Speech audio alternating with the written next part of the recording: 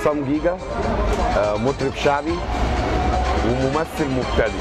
أنا فكرة أبو الفتوح جاتني إن أنا حسيت إن أنا آه، عاوز أختار حد بجد.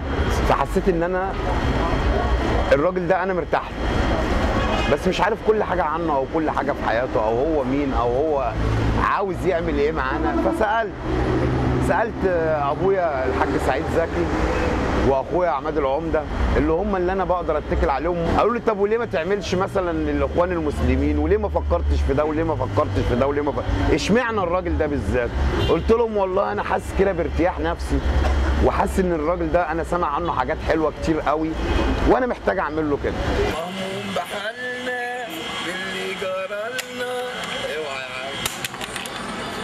اللي اذوه لو يعرفوه ما كانوش اذوه ده ابو الفتوح. وأنا في قلب الاستوديو وبغني جاني خبر إن أبو الفتوح حصل له مشكلة على الطريق الدائري قام موقفين معايا ال- التسجيل وقمت حاطط جملتين قلت اللي اذوه لو يعرفوه ما كانوش اذوه كانوا اختاروه. أبو الفتوح. أبو الفتوح.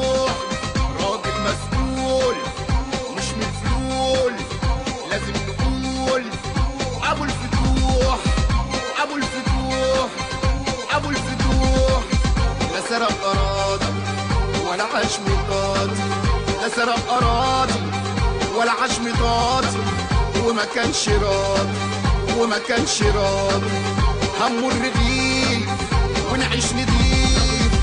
الراجل عفيف الراجل عفيف. بالنسبة للمرشحين التانيين على عيني وعلى راسي من فوق بس مين جه فهمني ممكن يعمل معايا إيه؟ سيبك من إن أنا عملت لابو الفتوح أنا مستعد أعمل لكل المرشحين كل مرشح أغنية. بس أنا في الآخر هروح فين؟ أنا هروح فين؟ كل ما يقولوا فلان اصل اتحبس وطلعت عليه. إيه بقى؟ أنا عاوز افهم اصل علان تبع عم وبيصرف عليه. أنا مش بفهم في الحاجات دي.